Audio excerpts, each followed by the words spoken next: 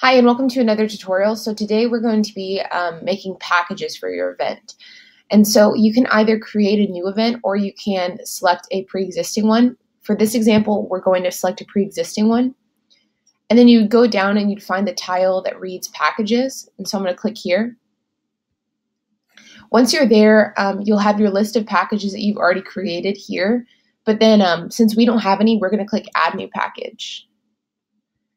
And then package name, you can add them anything you want to. And so um, I'm just going to name mine like bronze package.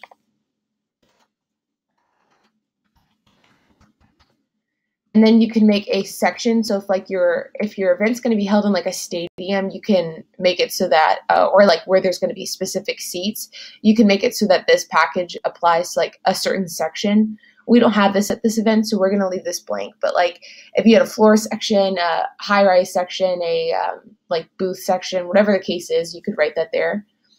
And then for package description, um, I'm just going to put bronze, but you'll want to put like whatever this package is. And so be as detailed as possible. It's always better to be more detailed than less detailed. And then price, um, I'll just do like, I'll do like $500. And again, you can have it be, well, you get tickets with it. And so I'm going to do $500, but then I'll do two tickets since this is bronze because our regular ticket price is 299. But you can price, um, you can price tickets as like high or low as you want to, and you can make the number of tickets for each package however you want to as well. And next, you're going to select the users that are eligible for this ticket. So I'm just going to select entrepreneurs and small business owners. And then you want to select the activities that they're able to do with this package as well. So you can pick and choose, okay, if somebody wants to buy like this package, that's fine, but we're not going to allow them to attend all the events. And so then you can select and like pick and choose which events you do want them to attend. I'm going to click all the activities. And then whenever you're done, you're going to click save.